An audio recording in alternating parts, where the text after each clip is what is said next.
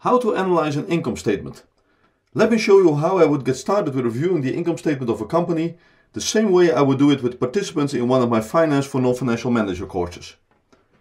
Here is Walmart's income statement or profit and loss statement, P&L, for the fiscal years ended January 31st, 2017, 2016 and 2015. 2017 is on the left, 2015 on the right. The income statement can be found in the annual report. There is a lot of information here. We need to set priorities on which items we are going to dive into to get the most valuable use of our analysis time. My proposal would be to first dive into the revenue performance, which seems to have dropped from 2015 to 2016 and then has come back up in 2017. What are the main drivers for revenue? Next, I would look into the margin performance. How have gross margin, operating margin and net income developed in relation to the fluctuations in revenue? As retail is traditionally a fairly low margin industry, every penny counts. Net income is almost $9 billion lower than operating income. Let's review what is going on in the interest and tax lines. That sounds like a good to-do list to me. Let's get started at the top. Out of the $486 billion in total revenue, $481 billion was in the net sales line, so let's review that one first. How is the net sales revenue split between Walmart's reporting segments? By far the largest segment is Walmart US, in 2017 making up 64% of, of total net sales. Second is Walmart International, 24% of the total in 2017. And third, Sam's Club at 12%. For overall net sales, there was a decline in 2016 versus 2015 and an increase in 2017 versus 2016. One of the three segments immediately jumps out at me. Can you guess which one? Walmart International, with a decline in 2016 of 9% and 2017 of 6%. I think it is important to analyze what is going on here first, as these declines are impacting the overall growth number significantly. Numbers for Walmart International on the left, narrative on the right. The Management Discussion and Analysis or MD&A section in the annual report contains many valuable comments for an analysis like we are doing. I have highlighted the key parts of the narrative that help us to get an insight to the drivers of the revenue decline in the Walmart International segment. Walmart International operates in many countries, including Mexico, Brazil and many other countries in Latin America, Canada, the United Kingdom, China, Japan and Africa. In each of these countries, transactions, selling, buying, paying salaries, operating stores happen in local currency. For reporting purposes, all those amounts are converted to US dollars, as that is the currency that Walmart reports in to the stock market. In 2017, there was an $11 billion negative impact on revenue versus prior year from fluctuations in the currency exchange rates and in 2016 even a negative impact of $17 billion. Currency exchange rates are an external factor, out of control by the company, and should therefore be adjusted for if you want to calculate the underlying growth. By the way, if currency exchange rates made revenue shrink when converting it to US dollars, then it also helps shrink costs when converting from local currency to US dollars, so only the net income is truly exposed. That paints a very different picture. Currency effects more than explain the declines in revenue in Walmart International, and if you analyze the revenue in this segment on a constant currency basis, then you will find that net sales grew 3%. Next up is Walmart US. At 64% of total revenue, it is the largest segment from Walmart. Growth of more than 3% two years in a row. What is driving that? Part of Walmart's net sales growth in 2017 was driven by physical expansion, a 1.3% year-over-year growth in retail square feet. So what should we look at as the underlying growth metric that exclude that effect? Walmart offers the term comparable sales, which is shown here quarter by quarter versus the prior year period. Sales from stores and clubs opened for the previous 12 months, including remodels, relocations and expansions, as well as e-commerce sales. To finish off the revenue analysis, let's take a quick look at the membership and other income line. There is a huge increase from $3.5 billion in 2016 to $4.6 billion in 2017. Where is that coming from? Well, the increase is fully in the other income part of the line item and it is non-recurring. A gain on sales of operations in China and Chile. So if you are planning to make any forecasts for Walmart FY18 revenue, remember not to count on those again. We now have a clearer picture of what is driving revenue, which is the top line in the income statement. Next, let's look at the margin performance, which we can analyze at three levels. Gross margin percentage, gross margin as percentage of revenue, operating margin percentage, operating income as percentage of revenue, and return on sales percentage, net income as percentage of revenue. Let's review the percentages that Walmart provides us in the annual report. A gross profit rate of 24.9% in 2017 and operating income as a percentage of sales of 4.7% in 2017.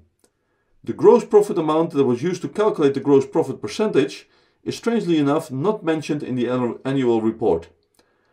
I would assume Walmart took revenue and deducted cost of sales, like I'm showing here, but my calculation gets to a slightly higher percentage. Let's use the percentages that Walmart has provided and look at the trend. What do you see? Gross profit rate is rising from 24.3% in 2015 to 24.6% in 2016 to 24.9% in 2017. An increase of 30 basis points of 0.3 percentage point per year. There are many factors that contribute to these improvements. Walmart lists them in the MD&A. In 2017 versus 2016, the main driver for the improvement was improved margin in food and consumables. While gross profit is rising, operating income as a percentage of net sales has declined. The management discussion and analysis clarifies that the operating expenses have gone up primarily due to an increase in wage expense at the Walmart US and Sam's Club segments. The third and last ratio to calculate is return on sales, which is net income divided by revenue. 3.5% in 2015, 3.1% in 2016, and 2.9% in 2017, a decline following a similar pattern as operating income. Those are low net profit margins inherent in the retail industry, and that's not what makes a retailer like Walmart successful. If you want to know how Walmart, despite a low profit margin, gets to a return on assets percentage that is higher than that of a major telecom company, then please watch my video walking through an example of how to calculate and compare return on assets. Right, that's the revenue analysis and the margin analysis done. Net income is almost $9 billion lower than operating income. Let's review what is going on in the interest and tax lines. First off, interest, a charge in total of $2.3 billion, most of which is interest on debt. If we turn to the liability side of the balance sheet, we see three sections of debt. Short-term borrowings, long-term debt due within one year, and long-term debt. The sum of these three line items was $39.4 billion at year-end 2017, down significantly from the 43.7 billion at year-end 2016, due to strong cash flows from operations that helped fund paydowns of debt. Watch my video on Walmart's cash flow statement to learn how that works. Let's take the average debt of these two balance sheet points for our calculation, $41.5 billion. If interest on debt was $2 billion, then the implied average interest rate was 4.8%. At first sight, that looks high to me. What could be driving that high percentage? Walmart's annual report lists the credit ratings it had received from major agencies. These are in the very respectable AA category for long-term debt. This means that Walmart's reputation as a borrower is very solid, which usually leads to lower interest rates.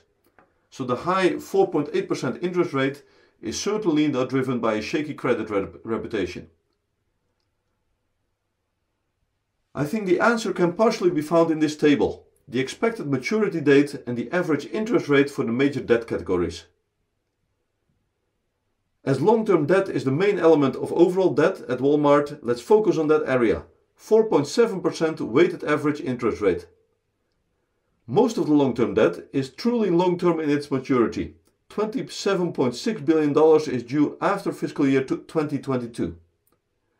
Walmart did not have any material long-term debt issuances during fiscal 2017 or 2016, so my educated guess is that most of the debt that we see on this page has been issued many years ago, when the overall interest rates were much higher. To find out whether this educated guess is correct, we would have to browse through the annual report archive of Walmart for the past 10 to 15 years and see how the debt position has developed. I consider that out of scope for this video, you're welcome to do so and comment below this video. That's three out of the four items on our to-do list done. Let's take a quick look at taxes before we wrap up. The provision for income taxes in the P&L has decreased over the past three years which sounds logical as the income before income taxes has also dropped. A useful number to calculate is the effective tax rate, which is simply the provision for income taxes divided by the pre-tax profit. This comes out to 30.3% for 2017.